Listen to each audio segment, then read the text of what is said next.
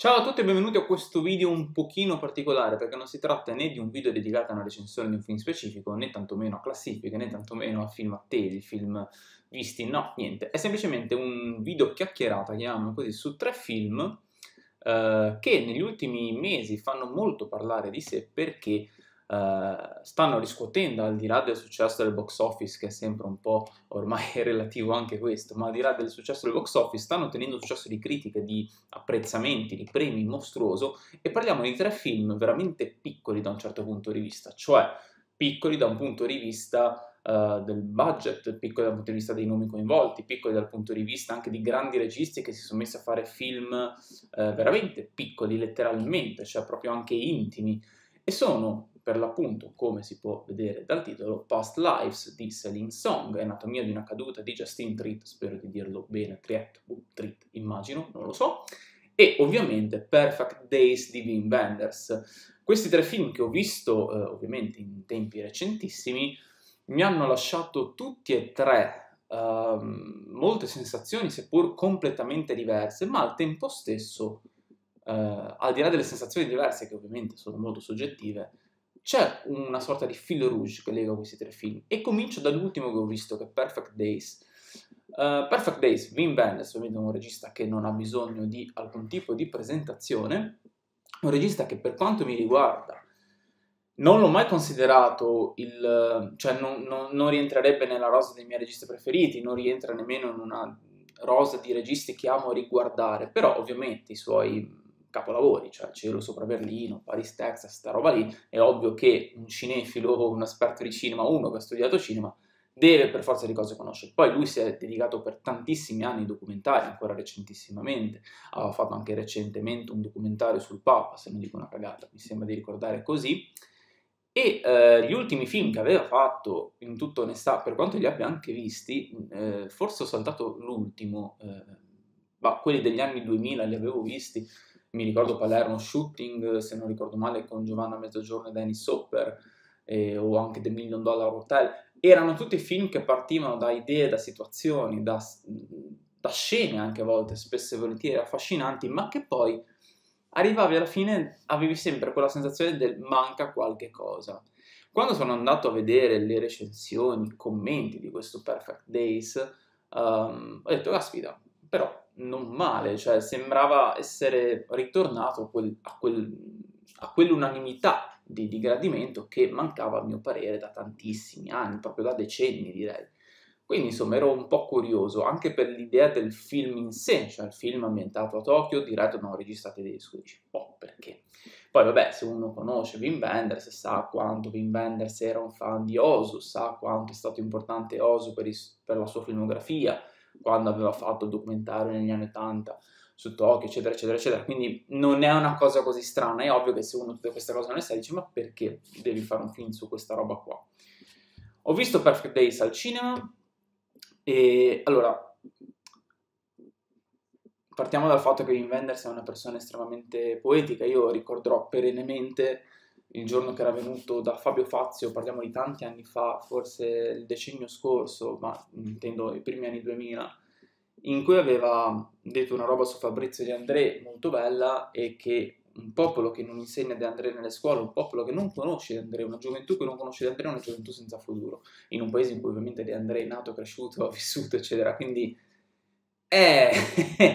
Sì, come dargli torto, d'altro canto, visto anche dove stiamo andando, direi che non aveva del tutto torto.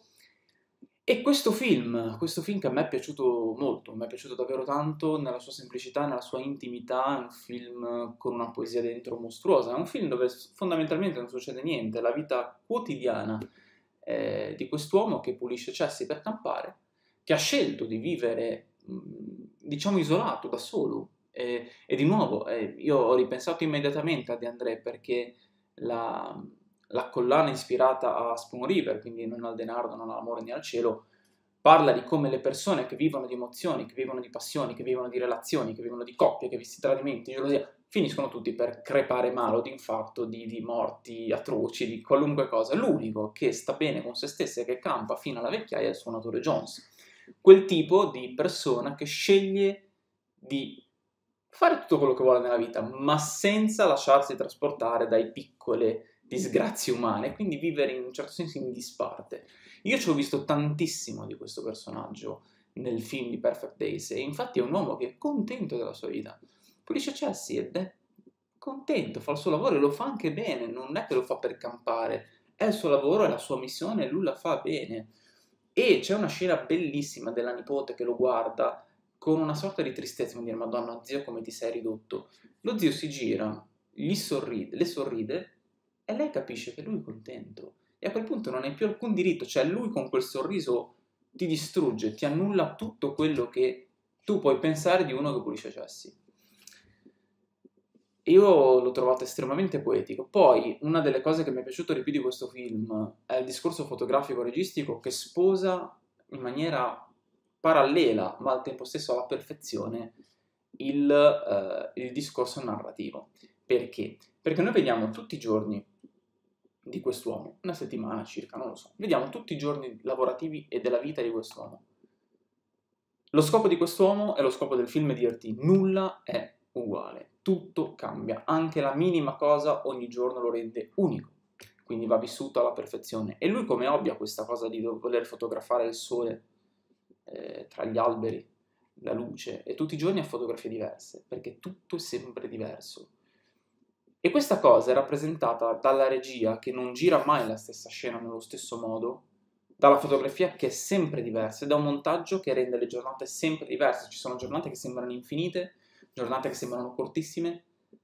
E questa secondo me è una cosa straordinaria. Straordinaria di un regista che comunque ha 80 anni, che è riuscito a trovare nell'ottica del quotidiano una favola, da un certo punto di vista, bellissima, dove non succede nulla e dove al tempo stesso succede tutto, perché quello che rappresenta il film è la vita, quindi la vita è tutto. Non c'è bisogno di sparatorie, non c'è bisogno di azioni, non c'è bisogno di colpi di scena, non c'è bisogno di eh, raccontare chissà quale dramma in evoluzione, quale eh, rivoluzione all'interno della quotidianità. No, se c'è una regola nella narrazione è l'entrata nel mondo straordinario di un personaggio, cioè tu presenti il personaggio col mondo ordinario, cioè la vita quotidiana del personaggio, che è quello che fa Wim Wenders qui, e narrativamente tu come spettatore o come scrittore devi poi inserire il cambio, cioè quel momento in cui il personaggio inizia la sua avventura e tu come spettatore inizi l'avventura con lui. Qui non c'è, qui non c'è niente.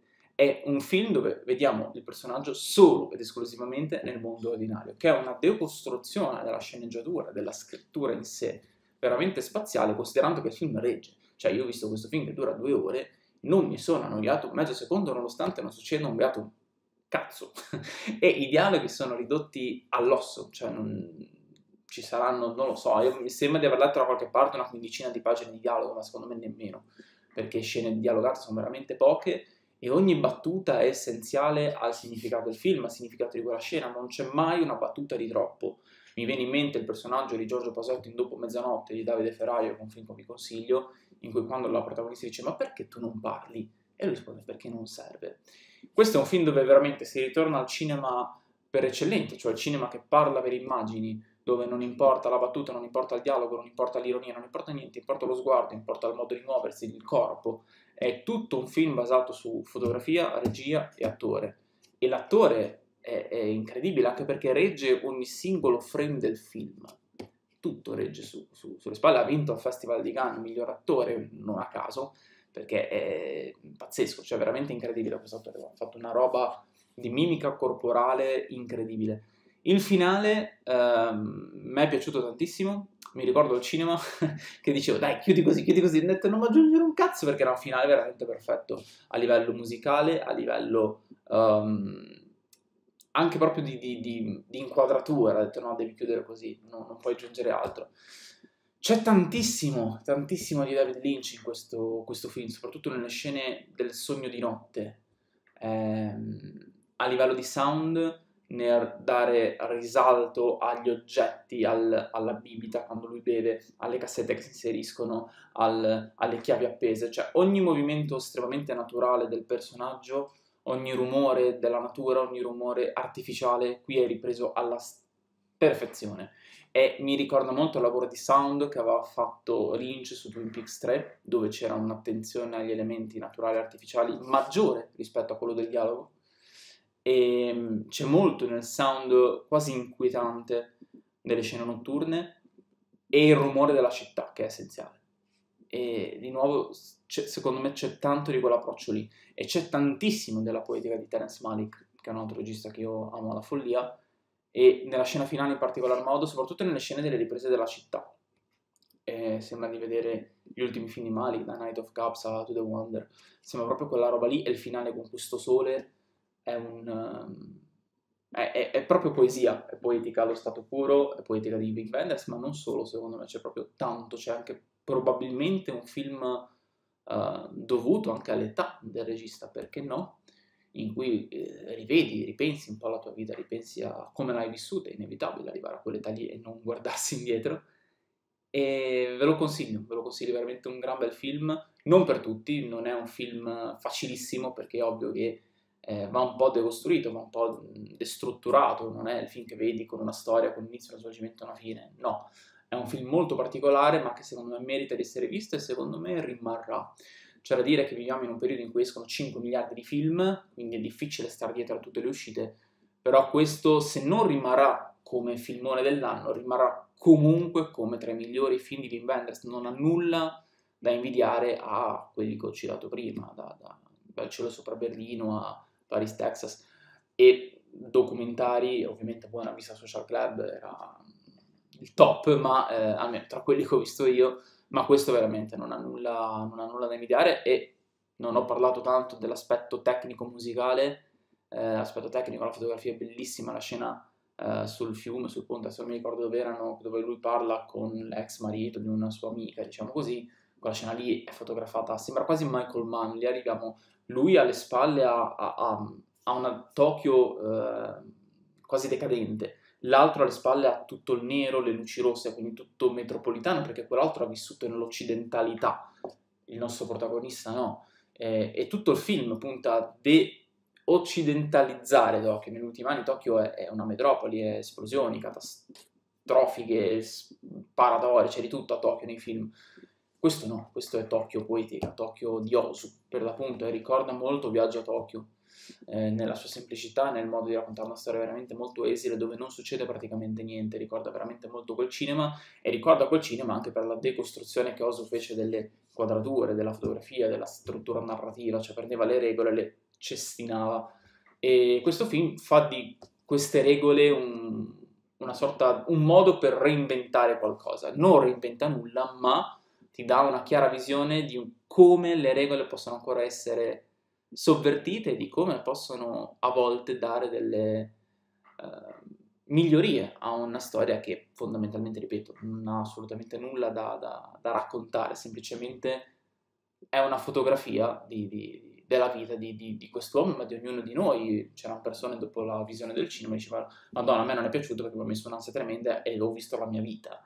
E quindi ti viene ansia perché dici, eh beh, mi sveglio, lavoro, eh, torno a casa, mangio, vado a dormire, mi sveglio, lavoro, torno a casa ma purtroppo la vita di tutti noi è questa qua, quindi a parte i pochi eletti, eh, la nostra vita è questa. Passiamo a un altro film, cioè Anatomia di una caduta. Anatomia di una caduta, film, come dicevo prima, di Justin Triet, dalla quale ho visto solamente un altro film, cioè credo quello prima di questo, che era un thriller, anche quello un po' psicologico, un po' come Anatomia di una caduta.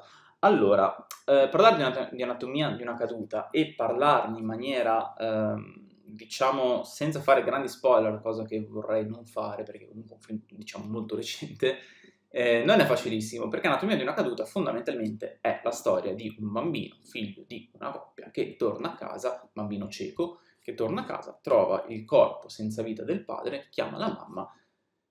L'autopsia non riesce a determinare se quest'uomo si è suicidato o se è stato ucciso e quindi inizia per la polizia un processo alla mamma, ovviamente alla moglie, come omicida e tutto il film è un processo a questa donna. Quindi fondamentalmente la trama è questa qua.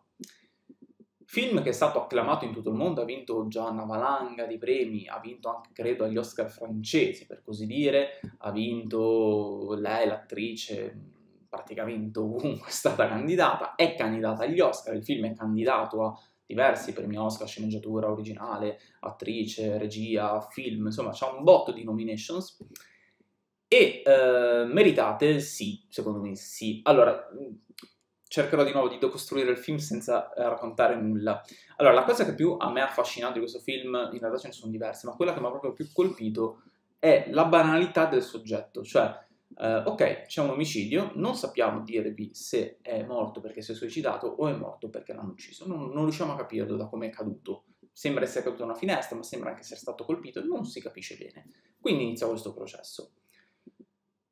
L'anatomia di una caduta però non è quella del corpo fisico e della successiva morte del personaggio, ma l'anatomia della caduta che verrà analizzata lungo tutto il film è l'anatomia della caduta della coppia. E in questa coppia, secondo me, c'è chiunque, perché riesce, nell'ambito delle sue due ore e venti, perché era abbastanza lunghino, a eh, farti bene o male, almeno una volta all'interno del, del dialogo, delle interrogazioni, delle interrogazioni, degli interrogatori, a fartici immedesimare con uno dei personaggi del film. È difficile riuscire a non dire io forse sarei quella lì in questo momento. C'è una scena in cui, um, in cui ho gridato al capolavoro, ero sdraiato sul divano, l'ho visto in Blu-ray, ero eh, sdraiato sul divano. Inizia questa scena, per vi dico qual è, mi alzo, mi siedo e la guardo. Perché non riuscivo a, a... cioè ero talmente preso dalla bravura degli attori, dal dialogo, dalla regia molto semplice, la regia fa proprio un passo indietro per raccontarti questa roba, ma è talmente incalzante quella scena che ho detto, madonna mia, che roba che sto guardando. Ed è poco dopo la metà, proprio secondo me quel classico midpoint del, del film. E la scena di cui parlo è una scena in cui, vabbè, assistiamo, siamo nel, nell'aula del, del tribunale, stanno interrogando la moglie, parte una registrazione cioè fanno sentire la moglie come prova una registrazione effettuata dal marito di una loro litigata, senza andare a fare grandi spoiler su perché c'è questa registrazione. Però parte questa registrazione. Sentiamo la registrazione partire come se fossimo una delle persone che assiste al processo. Poi entriamo nella testa di lei e quindi rivediamo la litigata. E vediamo questa litigata bellissima, perché parte lentissima, parte quasi come se non stesse per scoppiare la litigata è una roba del tutto normale. Lui lo vediamo che vuole tirare fuori qualcosa da lei. Lei è tranquilla, cerca anche addirittura di rincuorarlo, di, di starle dietro, si dicono ti amo, cioè non, non sembra l'inizio di una litigata. Nell'arco di, non lo so quanto è durata, perché per me è volata, ma mi sembrava abbastanza lunga, di, boh, mettiamo 5 minuti, quella scena decolla, diventa un'altra completamente. E la cosa geniale è che quando la scena finisce, noi siamo già di nuovo nell'aula del tribunale, nel senso che noi vediamo questa lite per, mettiamo, 5 minuti, la lite poi continua, ma la sentiamo finire dall'aula del tribunale, in cui sentiamo rumori, piatti che si rompono. Di nuovo, quindi, come gli spettatori del tribunale, non sappiamo se questi piatti chi li ha tirati, chi non li ha tirati, chi ha picchiato chi. Noi abbiamo solo la versione della moglie che in quel momento dice no, io ho fatto questo, lui ha fatto quello, ma non possiamo sapere esattamente se lei sta dicendo la verità o no. Tutto il film è basato su questa cosa qua e il fatto che sia più o meno a metà del film, il midpoint, e che racchiuda tutto il significato è wow. Perché? Perché tutto il film gioca sul fatto che in un processo la verità non esiste. Esiste un'opinione, esiste la fantasia, noi abbiamo, sappiamo che è successo questo e sappiamo che è successo questo, sono dei fatti. Tra il secondo fatto e la conclusione manca qualcosa e questo qualcosa può riempirlo solo quello che noi pensiamo, ma non ci sarà mai un fatto che ti dice questo è colpevole questo non lo è.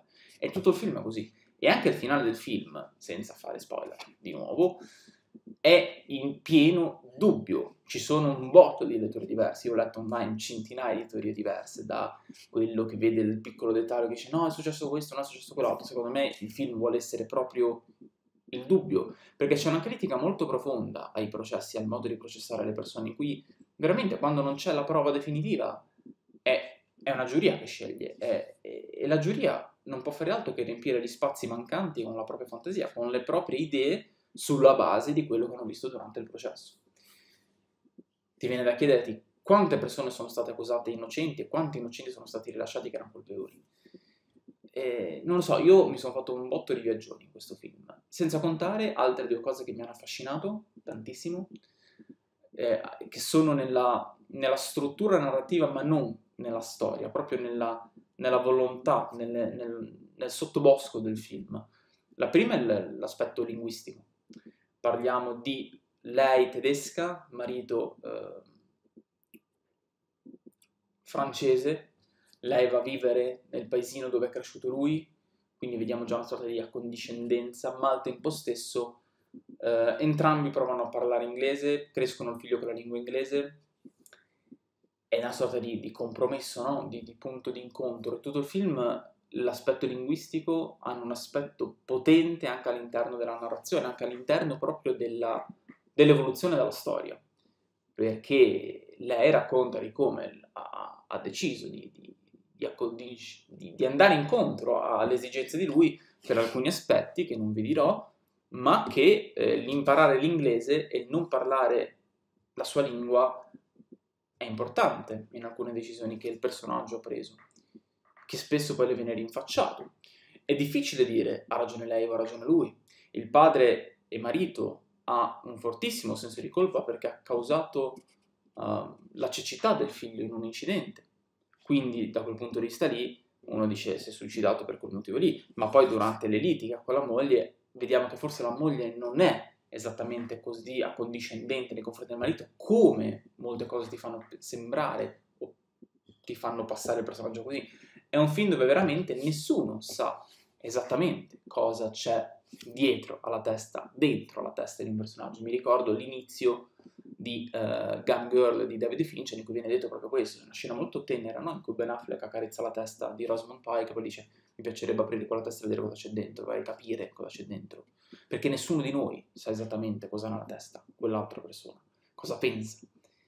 E il dubbio, il dubbio domina tutte le relazioni, domina qualunque sentimento. E questo film è, è, tutto un film sul dubbio, cioè poteva tranquillamente introarsi il dubbio che andava assolutamente bene. Poi, per carità, il titolo è geniale, questa caduta di questa coppia graduale che vediamo durante il film è veramente molto bella.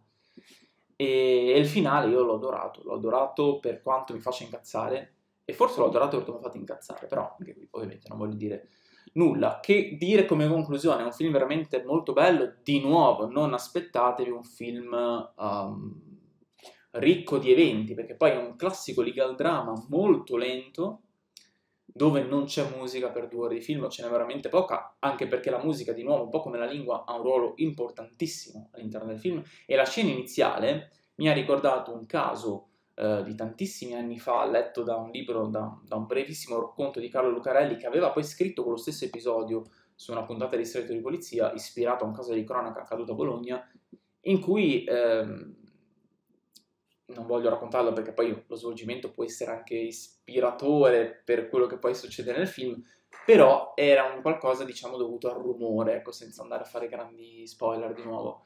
E quella scena iniziale di Anatomia di una caduta, dove la musica ha un ruolo molto importante, è un... Um, mi ha fatto pensare a quella cosa lì, ho detto magari va in questa direzione, e poi effettivamente il film non dico che va in quella direzione, ma potrebbe andarci perché poi ho il dubbio che ci vada o non ci vada. È veramente complicato dire è successo questo, è successo quello. C'è poi un momento in cui il bambino racconta una determinata cosa e rimanda tutto il film da tutt'altra parte, ma è un racconto del bambino. È successo? Non è successo? Chi lo sa, non lo sapremo mai.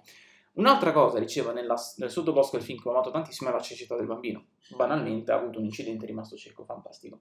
Ma ehm, nel, com- diciamo, nel collegamento, se vogliamo farlo un po' freudiano, del collegamento che ci può essere tra Edipo e i suoi genitori, anche qui, secondo me, c'è una decostruzione, c'è un ribaltamento del mito di Edipo veramente affascinante, che ora non voglio annoiare nessuno con questa analisi, ma io ho studiato un po' Edipo un po' di anni fa perché avevo fatto una miniserie online su, su questa storia e la, la cecità della voglia del conoscere, la voglia a tutti i costi di sapere la verità, ha reso cieco Edipo e in un certo senso la voglia del dubbio, di risolvere ogni dubbio, di capire quello che succede dentro questo film. Anche qua, non voglio fare grandi spoiler. Quindi, Anatomia di una caduta, film assolutamente consigliato. Mi è piaciuto più di Perfect Days? Forse no, per quanto è un film più classico da un punto di vista narrativo e più facilmente seguibile. Eh, la poesia di Wim Wenders, onestamente, l'ho preferita a questo film qua però è ovvio che è un parere molto molto molto soggettivo, si parla di due grandissimi film. Ma passiamo al terzo, Past Life. E infine, per l'appunto, Past Lives, regista Celine Song, film che ho visto semplicemente a causa del passaparola che c'è stato negli ultimi tempi, l'ho visto prima in realtà dell'uscita italiana. l'ho visto in lingua originale e che consiglio vivamente di non vederlo doppiato perché un po' come Anatomia di una caduta la lingua ha un ruolo molto importante. E, ehm, quindi secondo me sono quei film che andrebbero visti in lingua originale, ma non perché sono fan della lingua originale, non voglio aprire dibattito o doppiaggio, no, ma perché semplicemente l'aspetto narrativo ha un, linguistico un aspetto importante all'interno della trama del film. E Past Lives è la storia molto semplice, di nuovo, di due bambini che si piacciono fondamentalmente eh, cresciuti assieme, che poi per motivazioni politiche, per motivazioni economiche, per una serie infinita di motivazioni, la bambina si trasferisce in America e eh, i due si separano. Dopo tanti anni lui la cerca su Facebook, eh, lei se ne accorge, i due decidono di risentirsi, si rivedono ovviamente, le loro vite sono andate molto avanti. Eh, lei si è risposata, lui ha, fatto, la sua vita, è stato un militare, insomma ognuno ci ha fatto la sua, la sua storia e queste storie si risfiorano per un attimo e il film alla fine ti racconta questo momento di, di, in cui si risfiorano, in cui si rincontrano, in cui si raccontano, in cui vedono l'uno nell'altro quello che avrebbero potuto essere, quello che sarebbero potuti essere e che non sono stati e che probabilmente non saranno mai. Allora, tra i tre film di cui ho parlato in questo video è quello che mi ha entusiasmato di meno e non so se è un paradosso o meno, forse quello che online ha riscosso più successo. Allora, è sicuramente il film tra i tre più semplice, cioè ha una storia molto accessibile, è molto corto rispetto agli altri due, dura almeno un quarto d'ora in meno di Perfect Days e 40 minuti in meno di Anatomia di una caduta, questo lo rende sicuramente più accessibile. Ho visto che è stato un successo anche al box office italiano, che fa veramente piacere perché vuol dire che ci apriamo anche a mercati che non sono strettamente italiani o americani, questo ovviamente è positivo.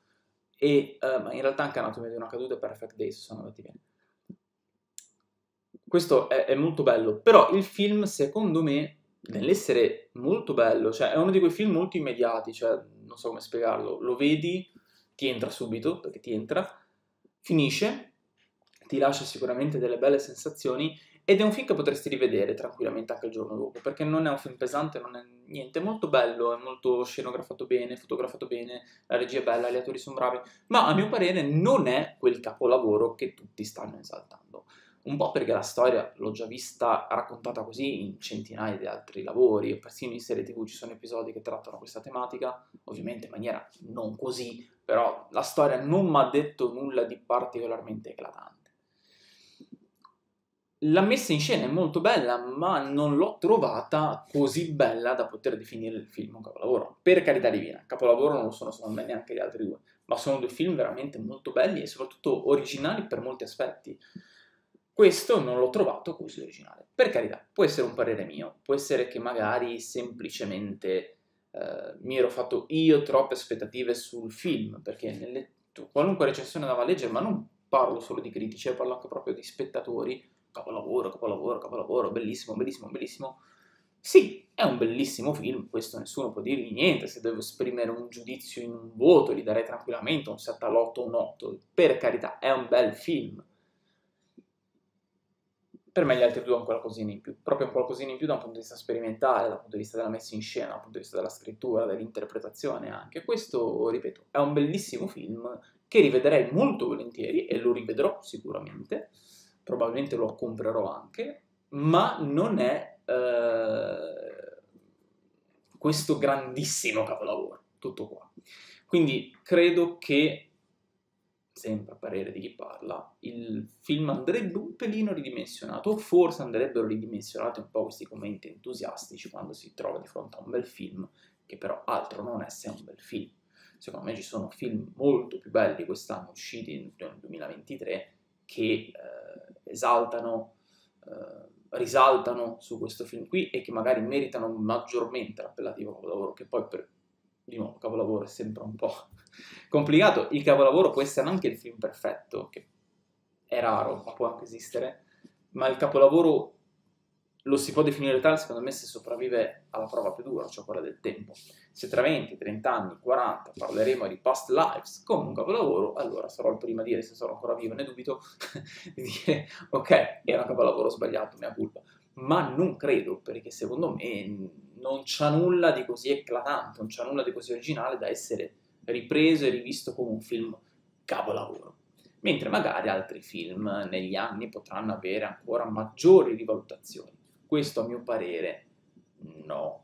La cosa che ho trovato più interessante in questo film, eh, che non sempre si vede, è la questione del triangolo amoroso, cioè triangolo amoroso per modo di dire, poi effettivamente non c'è mai un triangolo amoroso, però il marito di lei, eh, tendenzialmente in questi film il terzo incomodo, quello che diciamo lo spettatore tendenzialmente non vuole che stia con la protagonista o col protagonista se è una lei, um, è antipatico perché almeno hai poi un motivo per odiarlo che spinge ancora di più la tua volontà di spettatore nel sperare che questi due si mettano insieme. Invece il marito di lei è un ragazzo del tutto corretto, simpatico, gentile e sarà banale, però è una cosa che raramente si vede al cinema e raramente si vede nelle storie. Di solito il terzo è sempre antipatico, antipatico, brutto, stronzo, insomma c'è sempre un motivo per odiarlo. Invece no, cioè, non è che deve essere così. Poi una può amare il primo amore per sempre, ma può anche stare con una persona che non sia assolutamente uno stronzo o che può provare qualcosa di diverso. Questo